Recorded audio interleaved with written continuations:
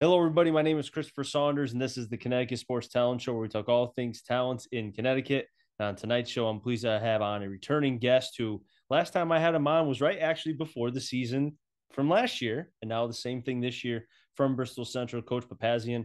Coach, great to be able to have you on the podcast again, man. Thanks for having me, Chris. Always, always fun coming on and getting to talk with you.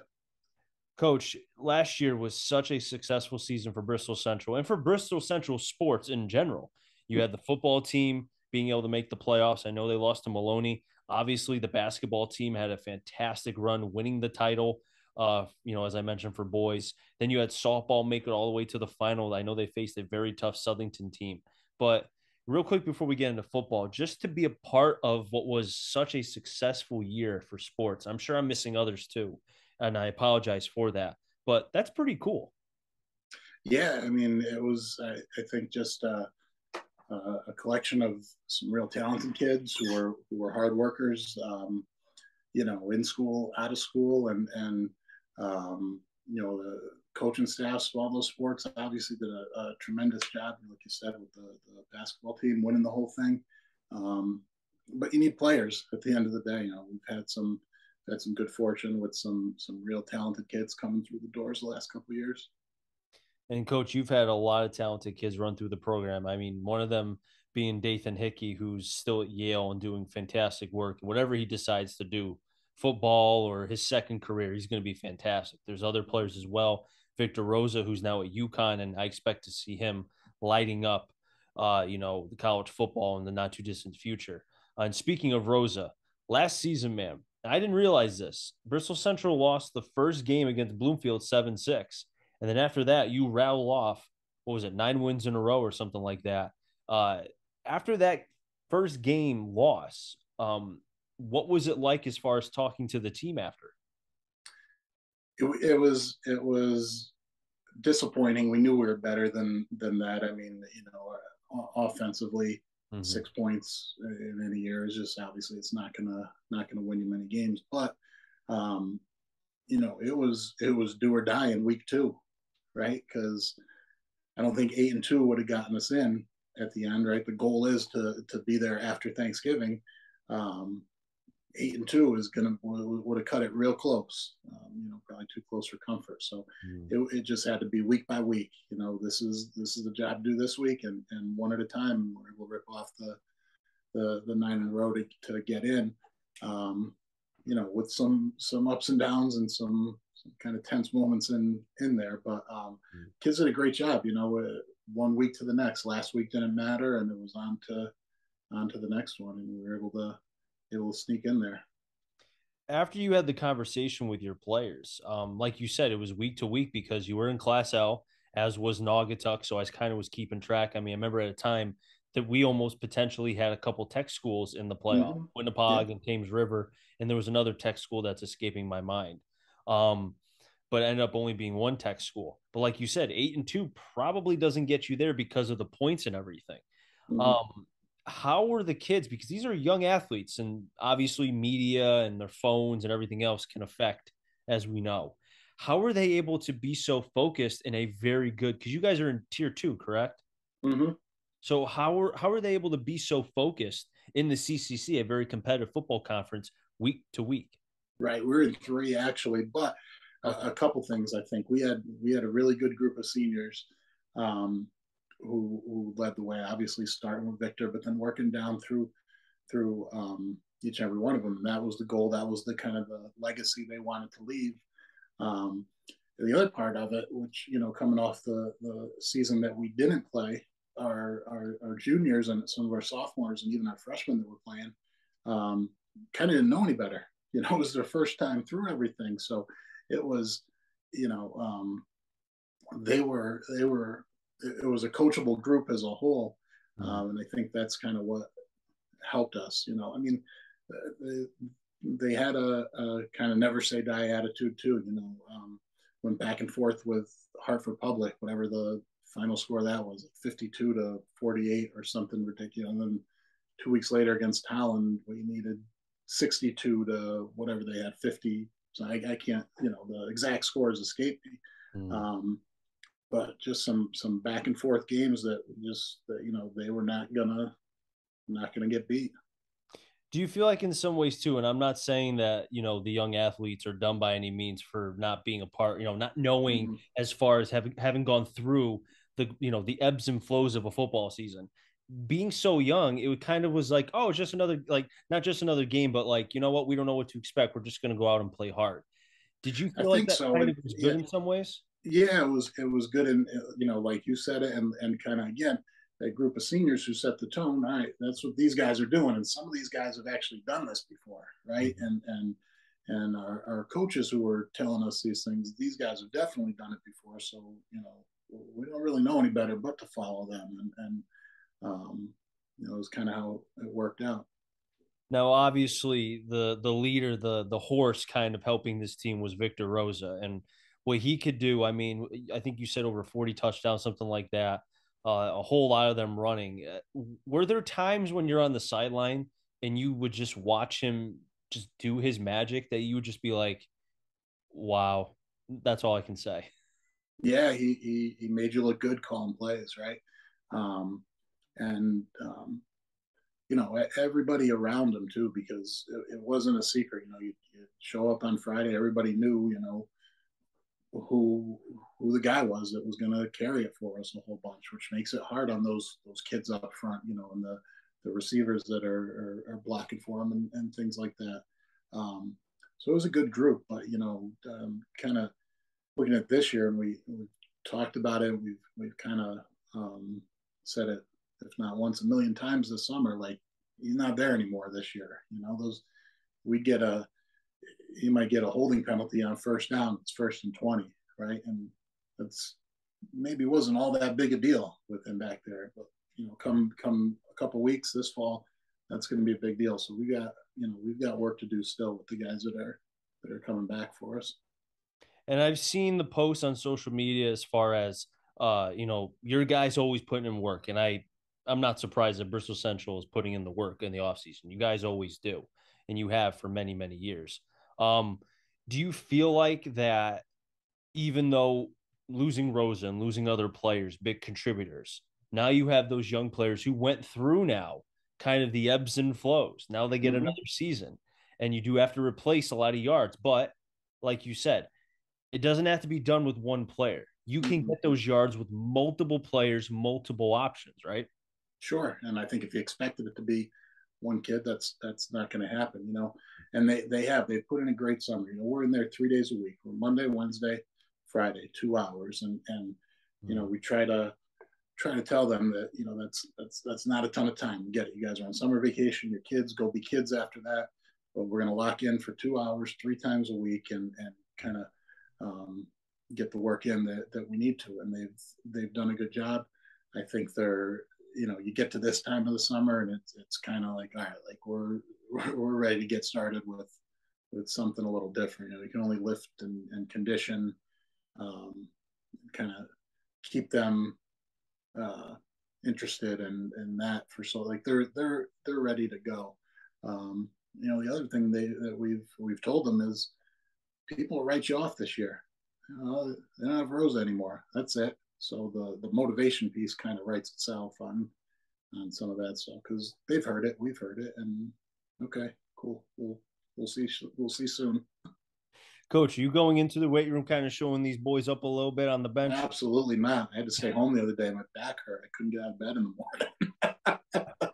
but see, here's the thing: they do know though when they hear you, don't don't do anything bad because you know don't do that, right? Yeah, yeah, and and uh, our whole staff has been really good. You know, a bunch of the guys have been with me for a number of years, um, mm-hmm. and, and they've all you know done a, a real good job uh, over the summer, um, getting us to this point. And then, like I said, we'll, we'll get to the actual actual football part really soon here.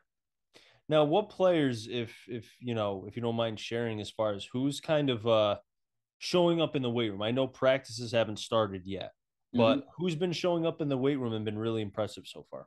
Yeah, we've had really good, um, you know, attendance numbers. We track everything, right? So mm-hmm. our attendance has been been really good all summer, and and you know, um, couple of our guys from from last year. Um, Trey Blair's an all league kid coming back for us, a, a slot receiver, defensive back.